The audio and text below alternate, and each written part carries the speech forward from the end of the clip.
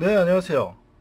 어저께 제가 앞 변속기 조절하는 거에 대해서 세팅하는 방법에 대해서 알려드렸었는데 제가 설명이 좀 부족했었나 봐요. 그 한계 조절 나사와 그리고 어, barrel adjust 이 두 가지 장력에 대해서 좀 헷갈리시는 것 같아요. 이 두 개가 같은 게 아닌데 헷갈리시는 것 같아서 제가 예전에 한번 이런 식으로 모형을 만들어 가지고서 limit 조절 나사를 한번 설명해 드린 적이 있었거든요. 그런데 이제는 여기다가 제가 장력 장력 넣는 것까지도 다 했어요. 아마 이거 보시면은 이걸 보시고도 이해가 안 되시면은 제가 그만해야 될 것 같아요. 네.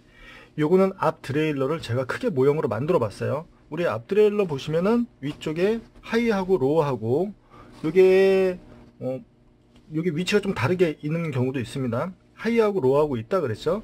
그래서 low는 작은 쪽 작은 쪽을 갖다가 얘네들이 limit를 막아주는 역할을 해주고 H는 high 고속으로 주행하는 부분을 막아준다고 어저께 제가 설명을 해드렸어요.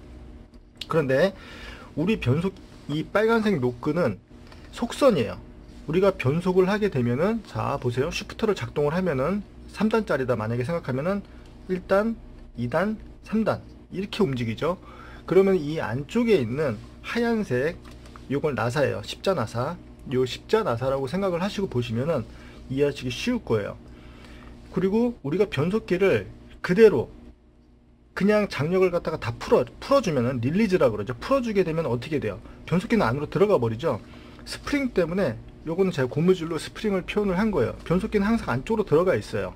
이렇게 들어가 있어서 우리가 변속을 하려면은 당겨줘야 되겠죠. shifter를 작동을 해야지 얘네들이 이렇게 움직이겠죠? 자 그러면은 안쪽으로 들어가서 이 limit 조절 나사를 지금 설명을 해 드릴게요. low라고 하면은 자 얘를 갖다가 만약에 시계 반대 방향으로 해서 돌려줘서 빼주면은 얘가 더 많이 움직이죠.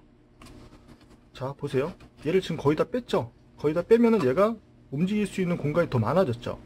그러면은 체인이 여기에 있다 그러면은 자 체인이 이렇게 있었다 그러면은 얘가 바깥쪽으로 너무 나가니까 체인이 드르르르 닿는 소리가 나겠죠 너무 바깥쪽으로 나갔으니까.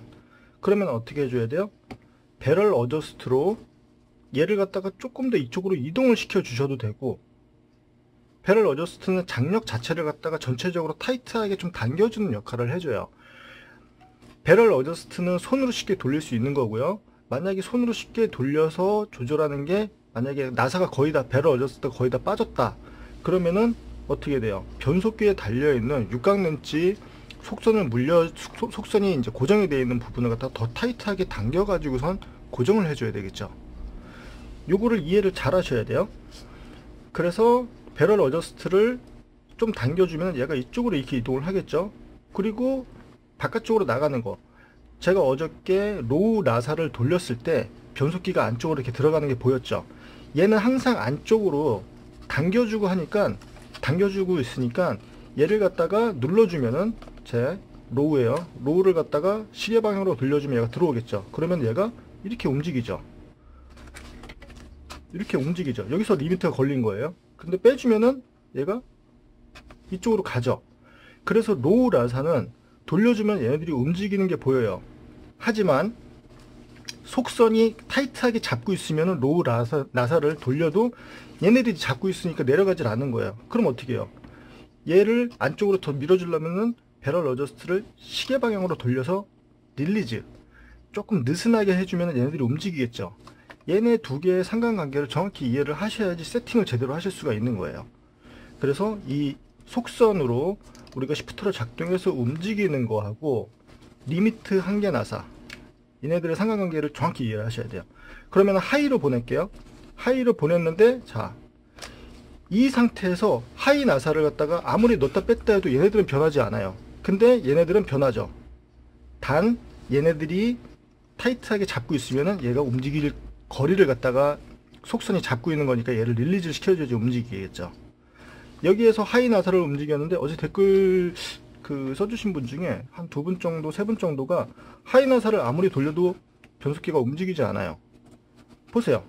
지금 low로 된 상태에서 얘네들을 아무리 돌려봤자 들어갔다 나왔다 봤자 얘네들은 허당이에요. 움직이질 않는 거예요 얘네들이 high를 갖다가 limit를 걸어 주려면은 자 얘네들이 바깥쪽으로 변속을 갖다가 최대한 outer로 놓고선 단축 shifter를 작동해서 놓고선 지금 걸리죠. 얘네들이 더 이상 못 올라가게 H 나사가 걸어주고 있는 거예요. 그러면 조금 더 보내고 싶어요. 그러면 얘를 시계 반대 방향으로 해서 올려주면은 닿는 면적이 적으니까 더 멀리 가죠. 변속기가 더 멀리 가겠죠. 그리고 그만큼 얘의 장력도 필요하고요. 이 장력이 필요한 건 barrel adjust를 돌려가지고선 더 보낼 수 있는 거고 만약에 barrel adjust를 끝까지 돌려가지고 거의 다 빠질 것 같은데도 부족하다 그러면은 육각 렌치로 여기에 속선에 물려있는 변속기를 갖다가 다시 세팅을 해줘야 되겠죠. 좀 더 타이트하게 넣어주고선 고정을 해주면 되겠죠. 그 전에 barrel adjust를 완전히 새로 얘를 세팅을 하는 거기 때문에 barrel adjust를 끝까지 넣어 주시고선 이렇게 조정을 하시고선 나머지는 barrel adjust로 조정을 할 수가 있겠죠.